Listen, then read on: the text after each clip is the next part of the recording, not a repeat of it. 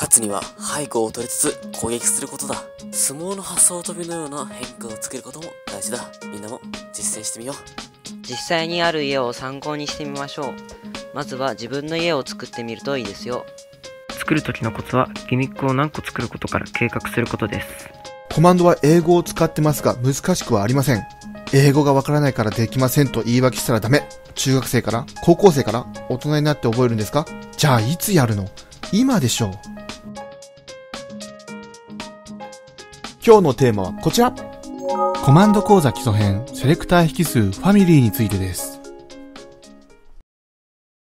どうも、ドライトです。今回紹介するコマンド講座基礎編はセレクター引数について紹介いたします。前回はセレクター引数のタイプ、ネームについて紹介いたしましたが、今回はファミリーについて紹介いたします。セレクター引数は基礎中の基礎ですのでしっかりと覚えておきましょう。そして以前にもセレクター引数についての動画を配信しておりますが、2017年に紹介した動画で、その時よりも新たに追加したセレクター引数もあるので、また新たに作り直します。細かく説明していきますので参考になればいいかと思います。それではセレクター引数ファミリーについて説明いたします。こちらはバージョン1.16.100から登場したセレクター引数で、しかも統合版限定のセレクター引数です。タイプのセレクター引数に似ていますが、タイプよりも多くのエンティティのグループを指定したり、細かいグループを指定することもできます。例えば、タイプで指定したゾンビは、ゾンビのみの指定になりますが、ファミリーで指定したゾンビは、ゾンビ、ハスク、ゾンビ村人、ドラウンドとゾンビ系を対象にすることができます。このようにファミリー、グループとして指定ができます。ただ、こちらのファミリーの引数は、オートコンプリート機能がありません。何と打てばいいのかわからないので、あまり使われない気がします。ということで、ファミリーで指定できるものを紹介いたします。大きい範囲としてモブがあります。牛や村人にゾンビやスケルトンなど生物に関するグループの指定ができます。ちなみに防具立てもモブに入るようですね。逆にイナニメートは雪玉やボートにトロッコといった生物ではないエンティティのグループに対して指定ができます。もちろん防具立ても入ります。次にモンスターはクリーパーやゾンビといった敵対モブのグループに対して指定ができます。有効モブの指定はありませんが、アット E ファミリーイコールびっくりマークモンスター、ファミリーイコールびっくりマークイナニメートと指定すれば、有効モブのグループを指定できますね。このように複数のファミリーの指定ができ、イコールびっくりで指定したグループ以外という方法もできます。次にアンデッドはゾンビやスケルトンといったアンデッド特攻で大ダメージを与えることができるモブのグループに対して指定ができるようになります。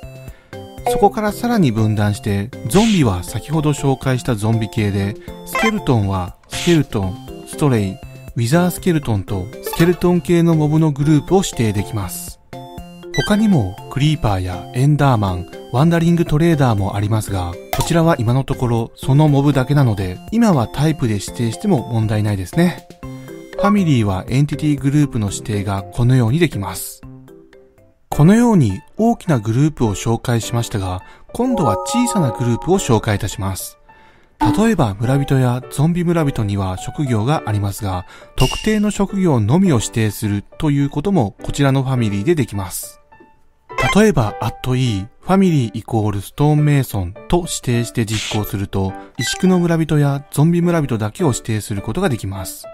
このように村人の中でも特定の職業のみを指定することができます。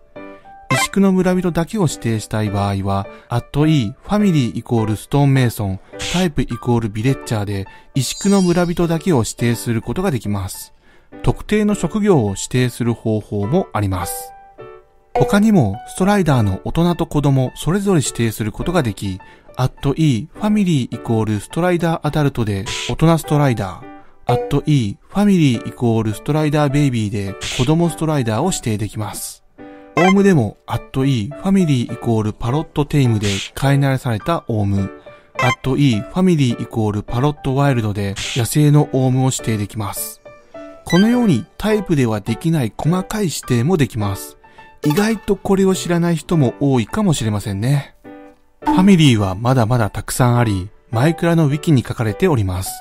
虫特攻でダメージを与えられるモブのグループ、アースロポットやタラ、フグ、サケ、熱帯魚の魚のグループ、フィッシュもあり、悪の村人たちのグループ、イリジャ